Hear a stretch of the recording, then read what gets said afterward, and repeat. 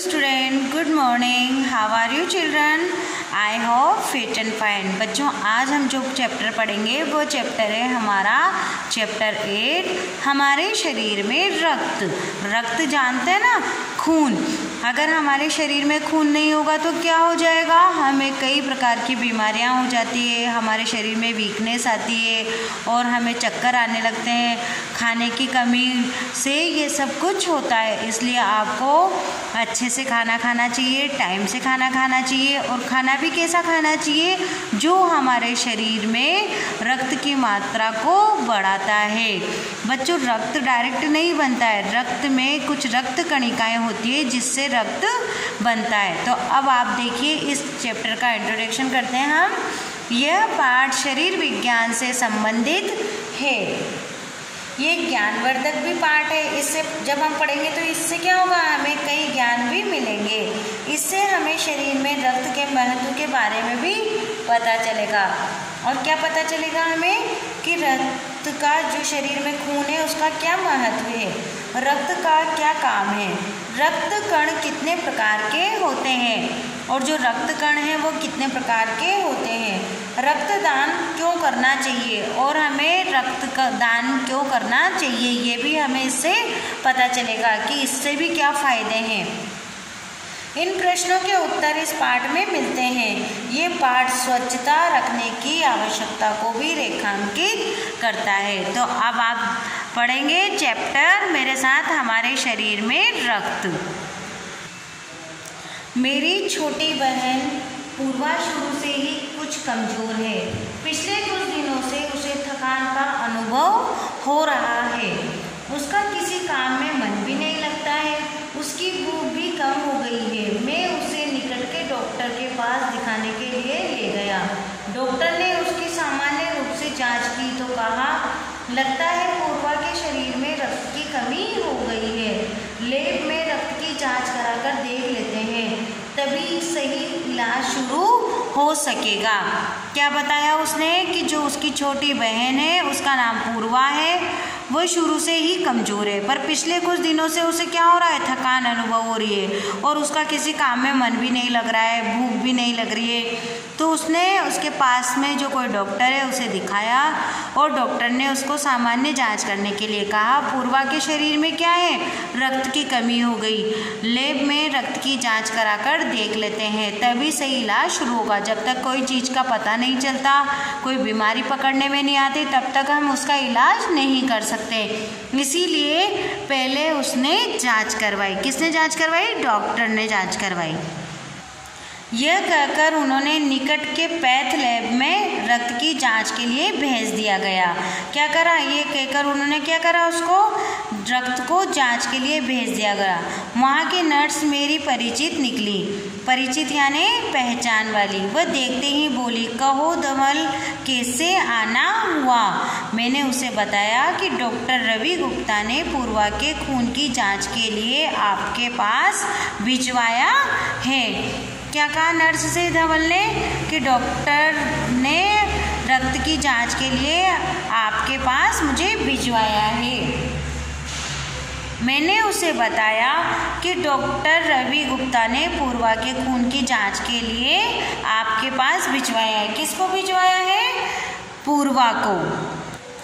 इतना सुनते ही नर्स ने पूर्वा की उंगली से रक्त की कुछ बूंदें लेकर एक शीशे की में डाल दी। फिर जब जाँच करा तब क्या करा उसने? उंगली में से कुछ रक्त की बूंदें लेके एक शीशे में डाल दी। एक शीशी रहती है, उसमें वो रक्त की बूंदें डाल दी और उसे एक स्लाइड पर लगा दी। स्लाइड होती है बच्चों, कांच की लंबी और पतली, उसे बोलते हैं स्लाइड। फिर बोली धवल तुम साढ़े सात बजे आकर रिपोर्ट ले जाना। कितने बजे का टाइम दिया उसको? शाम को सात बजे का। सायकाल जब मैं पूर्वा के रक्त की जाँच की रिपोर्ट लेने गया, तब नर्स ने मुझे रिपोर्ट देते हुए कहा, धवल पूर्वा को अनीमिया है। कौन सा रोग बताया उसको? अनीमिया रोग। अब देखिए बच्चों, ये अनीमिया क्या है? चिंता की कोई बात नहीं। कुछ दिन दवा लेने से पूर्वा बिल्कुल ठीक हो जाएगी। मैंने जिज्ञासावश नर्स से कहा, सिस्टर, एक सवाल पूछूँ? क्या कहा उसने कि, सिस्टर, मैं एक सवाल पूछूँ? अब देखो बच्चों, जब उसकी रिपोर्ट आई और उसमें निकला अनिमिया तो अब अनीमिया के बारे में धवल उससे कुछ पूछेगा। किससे पूछेगा? नर्स से। अनीमिया से आपका क्या मतलब है, सिस्टर? क्या क्वेश्चन किया उसने धवल ने? कि अनीमिया से क्या मतलब है? मैंने पूछा, ये जानने के लिए तुम्हार तुम्हें रक्त के बारे में जानना होगा। अब ये क्या कहा उसने? कि अगर तुम ये जानना चाहते हो तो तुम्हें पहले रक्त के बारे में जानना होगा। किसने कहा बच्चों? नर्स ने कहा। फिर वह बोली, धवल, देखने में रक्त लाल द्रव्य के समान दिखाई देता है। आपने भी देखा होगा ना, ब्लड को कैसा दिखता है, वो रेड रेड कलर का दिखाई देता है। यदि इसे हम सूक्ष्म दृष्टि यंत्र से, के द्वारा देखें तो ये भानुमति के पिटारे के से कम नहीं है। अगर हम इसको सूक्ष्मदर्शी यंत्र से देखें, सूक्ष्मदर्शी यंत्र यानी बिल्कुल एक ऐसा यंत्र होता है, जिससे बिल्कुल बारीक से बारीक कण भी साफ़ साफ़ दिखाई देता है। तो उसने बताया, अगर हम इस रक्त को उससे देखते हैं तो ये भानुमति के पिटारे के समान दिखाई देता है। अब भानुमति का पिटारा क्या होता है? भानुमति का पिटारा होता है एक ऐसा पिटारा जिसमें बहुत सारी चीज़ें भरी हुई रहती है। मोटे तौर पर इसके दो भाग होते हैं। एक भाग तो तरल है, इसे हम प्लाज्मा कहते हैं। कितने भाग होते हैं? दो भाग होते हैं। एक भाग क्या है? तरल है। इसे हम क्या कहते हैं? प्लाज्मा कहते हैं। दूसरा वह जिसमें छोटे बड़े कई तरह के कण होते हैं और दूसरा भाग होता है जिसमें कुछ कण छोटे होते हैं और कुछ कण बड़े होते हैं। कुछ लाल होते हैं और कुछ सफ़ेद होते हैं और कुछ ऐसा जिनका कोई रंग नहीं है, उन्हें प्लेटलेट्स कहा जाता है। और कुछ ऐसे भी होते हैं जिनका कोई रंग ही नहीं है, उन्हें क्या कहते हैं? प्लेटलेट्स कहा जाता है। ये कण प्लाज्मा में तैरते रहते हैं। और ये किसमें तैरते रहते हैं? प्लाज्मा में तैरते रहते हैं। प्लाज्मा के बारे में मैंने अभी बताया था ना आपको कि प्लाज्मा किसे कहते हैं? प्लाज्मा बच्चों भी मैंने इसके ऊपर वाले पैराग्राफ में आपको समझाया था कि जो रक्त के दो तरह से भाग होते हैं। तो एक जो भाग होता है तरल भाग, जो कि तैरता हुआ रहता है, उसे हम क्या कहते हैं? प्लाज्मा कहते हैं। किसे कहते हैं प्लाज्मा? रक्त के दो भाग होते हैं। वह भाग जो तरल होता है, इसे हम प्लाज्मा कहते हैं। तो अब आगे देखिए। इतना कहकर नर्स ने, जो नर्स थी, उसने सूक्ष्मदर्शी यंत्र के नीचे एक स्लाइड लगाई। किसे बता रही है नर्स? धवल को बता रही है। इतना बताने के बाद नर्स ने क्या किया? सूक्ष्मदर्शी यंत्र के नीचे एक स्लाइड लगाई और उसे फोकस करते हुए बोली। किसको फोकस करते हुए बोली? उस स्लाइड को। देखो धवल, सूक्ष्मदर्शी यंत्र द्वारा तुम्हें जो कण दिखाई दे रहे हैं, ये लाल रक्त कण हैं। उस स्लाइड को देखकर मैं आश्चर्य से उछल पड़ा। अब देखिए, उस स्लाइड को देखकर क्या हुआ धवल? आश्चर्य से उछल पड़ा। रक्त की एक बूंद में इतने सारे कण, इन्हें देखकर तो ऐसा लग रहा है, मानो छोटी छोटी बालूशाही रख दी हो। क्या एग्ज़ाम्पल दिया उसने? कि ऐसा लग रहा है मानो छोटी छोटी बालूशाही रख दी हो। नर्स ने बताया, एक बूंद में इनकी संख्या लाखों में होती है। कितनी होती है? बूंद में, लाखों में, अगर आपके कभी कहीं ब्लड निकल जाता है तो उसमें जो वो छोटे छोटे कण हैं, उनकी कितनी संख्या होती है? लाखों में। नर्स ने बताया, एक बूंद में इनकी संख्या लाखों में होती है। यदि हम एक मीमी रक्त ले लें तो। एक कितना बताया? हम एक मीमी रक्त लें तो इसमें 40 से 55 लाख कण मिलेंगे। कितने कण मिलेंगे? 40 से 55 लाख कण मिलेंगे। इनके कारण ही हमें रक्त लाल रंग का नज़र आता है। ये कण हमारे शरीर के लिए दिन रात काम करते हैं। सांस लेने में तुम्हें साफ़ हवा से ऑक्सीजन मिलती है। उससे शरीर के हर हिस्से में पहुँचाने का काम इन कणों का ही है। अब देखो, कणों का क्या काम बताया बच्चों उसने? कि ये कण हमारे शरीर के लिए रात दिन काम करते हैं। जब हम सांस लेते हैं तो सा, जो सांस ली है हमने उस सांस को साफ़ करके हवा से ऑक्सीजन मिलती है। क्या मिलती है? सांस लेने में तुम्हें साफ़ हवा से ऑक्सीजन मिलती है। उसे शरीर के हर हिस्से में पहुँचाने का काम ये कण ही करते हैं। अब आइए बच्चों, पेज नंबर फिफ्टी थ्री पर।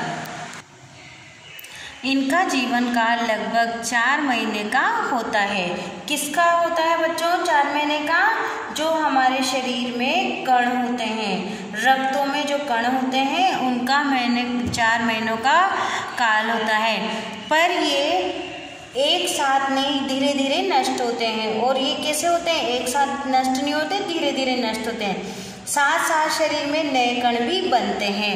अब क्या बताया उन्होंने कि जो हमारे एक मिमी रक्त लें और उसमें 40 से लेके 55 लाख तक कण होते हैं और इन कणों की वजह से ही रक्त लाल रंग का नज़र आता है।